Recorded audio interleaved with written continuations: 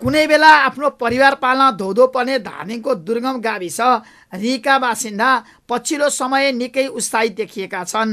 जङ्गल र खोला किनारमा खेर गएका बाँसका चोयाएर निगालोबाट विभिन्न सामग्रीहरू बनाएर बिक्री गर्न थालेसँगै उनीहरूको जीवनयापनमा नै परिवर्तन आएको छ। गाउँका विभिन्न स्थानबाट खोजेर ल्याइएका बाँसको चोयाएर निगालोबाट उनीहरूले अहिले डोको डालो र थुन्से बुनेर बिक्री गरिरहेका छन्। उनीहरूले घरमा नै बसी बसी फुर्सदको समय सदुपयोग गरी मासिक पैँतिस हजारसम्म आम्दानी गर्न थालेका हुन्। रि गाउँ विकास समितिका अधिकांश काम गर्न सक्ने युवा युवतीहरूले अहिले यही पेसा अँगालिरहेका छन्। विद्यालय पढ्ने उमेर समूहका बालबालिकाहरू विद्यालयबाट घर फर्केपछि र बिदाको समयलाई सदुपयोग गरी उनीहरूले दैनिक पाँच छवटासम्म थुन्से बुन्ने गर्दछन्। उनीहरूले त्यसबाट गरेको आम्दानीले पठन पाठनका लागि विद्यालयमा लाग्ने खर्च मात्र पुर्याएका छैनन्। घर चलाउने खर्च पनि पुर्याई मासिक बचत समेत गर्ने गरेका छन्।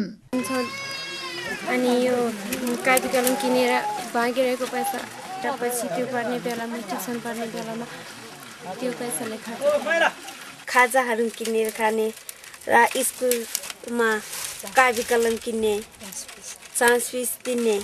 विद्यालय जाने उमेरका बालबालिकाहरूले त ढोको डाल र थुन्चेको बिक्रीबाट आएको रकम गाउँमा नै सहकारी खोली बचत गर्न सुरु गरेका छन्। पछिल्लो समय सहकारीमा रकम जम्मा गर्नेहरू पनि गाउँमा बढेका छन्। गाउँमा मोटर बाटो पुगेसँगै उत्पादित वस्तुहरू बजारसम्म पुर्याउन पनि सहज भएको उनीहरू बताउँछन्। बाटो आएपछि घर आएपछि रास रासन धुम्सियाहरू आफ्नै गाउँको छेउबाट टोलबाट लान परिरहेको छ अनि यहाँतिर यसो ढोनियाहरू पनि सस्तो भइरहेछ। अहिले अस्तिभन्दा अहिले चाहिँ धेरै सुविधा नै भइरहेछ।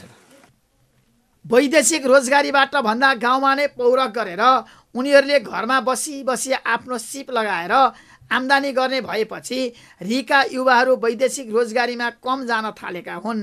गाउँको पाखो जमिनमा भएको निगालाहरू बिस्तारै सकिँदै गएपछि भने उनीहरूलाई निगालो खोजेर काम गर्न निकै समस्या परेको छ। सरकारी तवरबाट नै त्यस क्षेत्रमा व्यावसायिक रूपमा निगालो र बाँसको खेती गरी आफूहरूको यस कामलाई प्रोत्साहन गर्न उनीहरूको माग छ।